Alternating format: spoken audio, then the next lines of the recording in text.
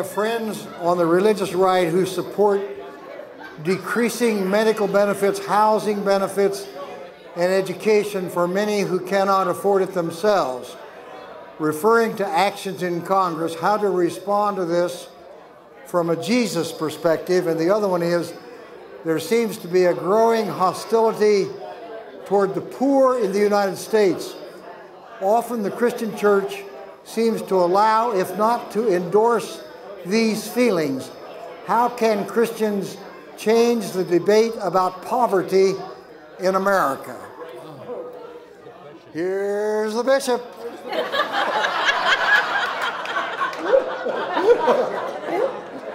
oh, Jesus was very clear that he liked the poor best. And in fact, the God of, of Old and New Testament is very clear that he has what some theologians have called a preferential option for the poor. We may not like the sound of that because we don't think it's fair for God to like some people more than others. But the God that we know in Scripture, in fact, likes the poor more. Perhaps because they are so dependent on God that they don't, they don't play around with pretending that they are autonomous either from God or from each other. There's a wonderful um, little piece in an early Christian writing called The Shepherd of Hermas, where um, it's a parable about the rich and the poor, and it's a parable about the huge oak tree and the creeping vine, the uh, grapevine on the ground.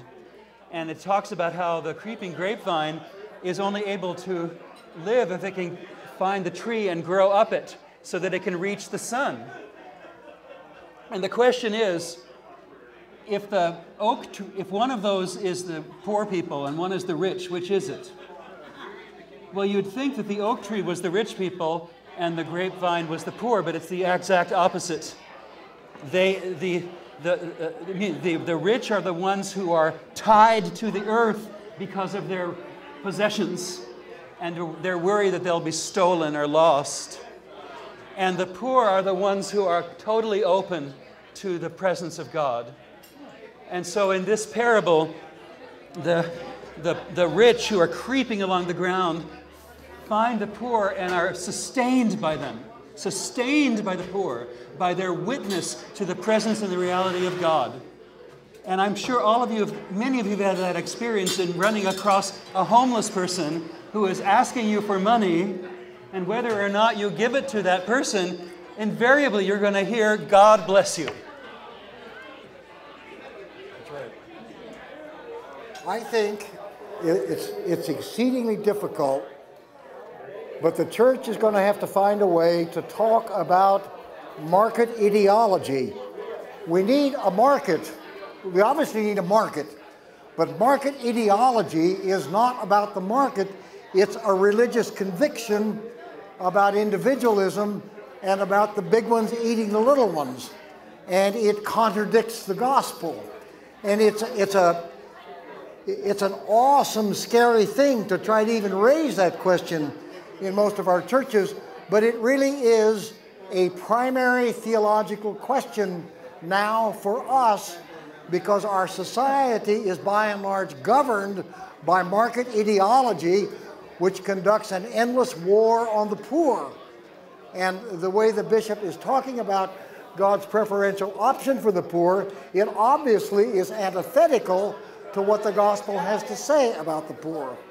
And, and the other thing I thought about the vine and the oak tree, the, if the oak tree are the poor, the vine depends on cheap labor. So it's, it's not only that the poor are open to God, but they also live on very small incomes that make the wealth of the rest of us easier to come by. And, and, and that is a, that is a an enormously important discussion that we have to be having in the church. I'm not sure how to follow you all on this because I love you when you tell that story, and I, I, I think that, Walter, you've spent a lifetime talking about this very issue. So I guess what I would say is simply I think often the Bible, just in everyday life, gets used as a weapon And anytime we use the Bible as a weapon, it's being misused. And the current people that we're using it against are the poor, but there's been a whole line of people throughout history that have gotten you know, attacked by using scripture. And so I think we have to think about how to, to move beyond seeing one another as the other, as the ones that we don't approve of. Um, and so finding a way past that, I think that can only happen by knowing someone who's different from us and by intentionally putting ourselves in the place where we come into that encounter. Um, I think that's, Yes, that's for I, me. I, I don't, I don't think that uh, God's preferential option for the poor is an attack upon rich people. It's an attack upon the system that justifies inequality in which we are all situated, whether we are rich or not. Yeah.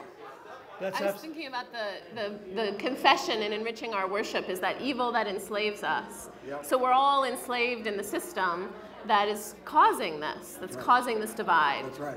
Right. That's what I was going to say. Oh, there you go. Sorry to cut you off.